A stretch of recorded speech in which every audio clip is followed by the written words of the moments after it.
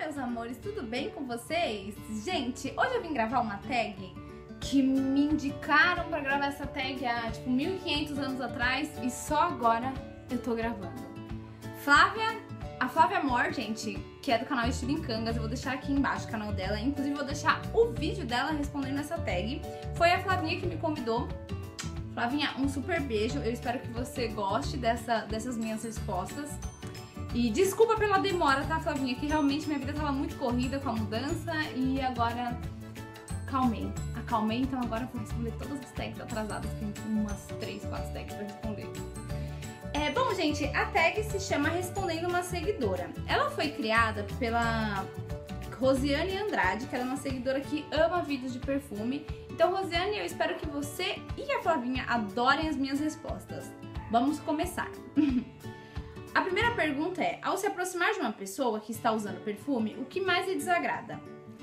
A. O excesso de perfume. B. Perfume noturno sendo usado durante o dia ou vice-versa. Ou C. Ocasião local inapropriados para aquele tipo de perfume. Gente, o excesso de perfume é uma coisa que me incomoda muito. Eu não gosto de chegar do lado da pessoa e morrer sufocada. Sabe? É sério, gente. Tem muita gente que vai e borrifa como se fosse body splash. Acha que tá usando body splash da Victoria's Secret. Gente, nem o da Victoria's Secret dá pra usar assim, né? Eu acho que, mesmo quando é um perfume assim fresquinho, eu acho que você tem que maneirar.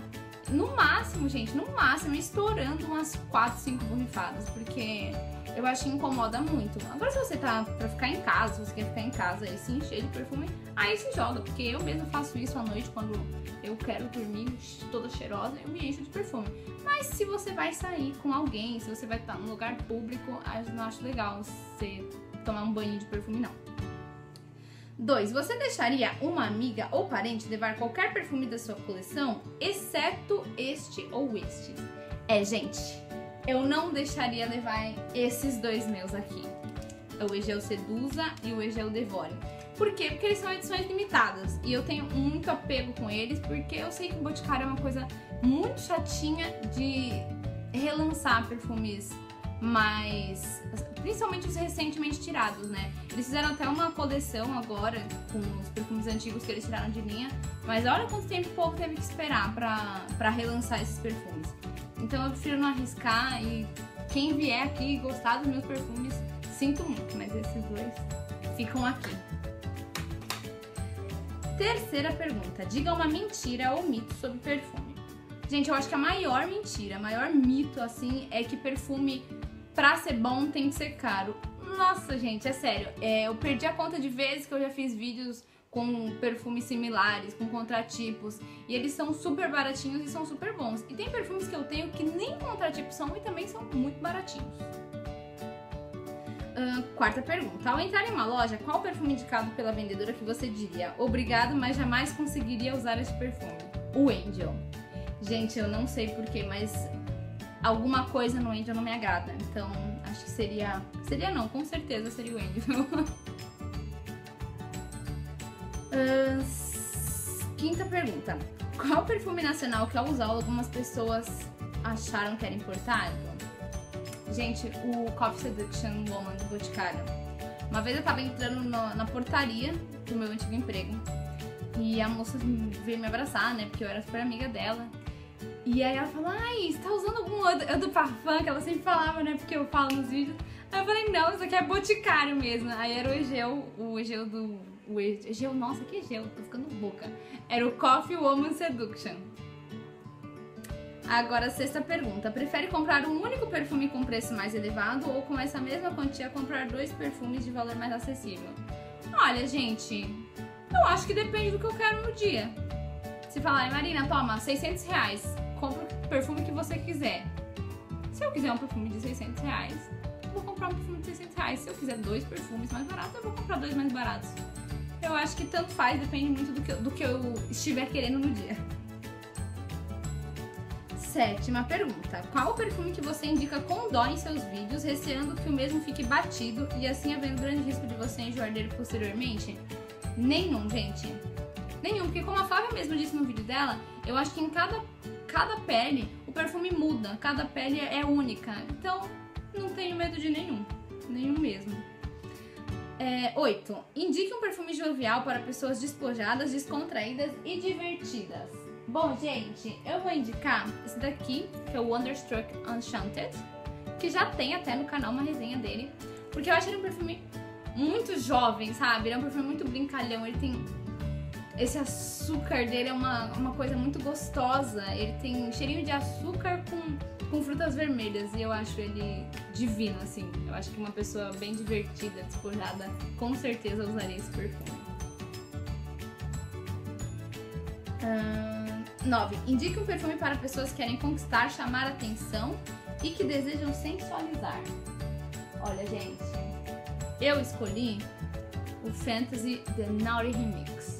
Por quê? Porque ele é uma versão amadeirada, ele é um perfume doce amadeirado, ele é o fantasy amadeirado. Então eu acho ele divino, muito sensual. Porque o fantasy em si, gente, ele é um perfume de criança, não de criança, né? Ele é um perfume de adolescente, mas ele já tem uma pegada mais jovem sensual. E esse daqui, ele é o mulherão, o fantasy mulherão. Agora, Décima pergunta. Indique um perfume para pessoas discretas, tímidas e que desejam se sentir cheirosas sem chamar atenção. Ai, gente, com certeza eu indico esse perfume aqui. Até perdi a tampa dele. Ele é o Mediterranean Breeze.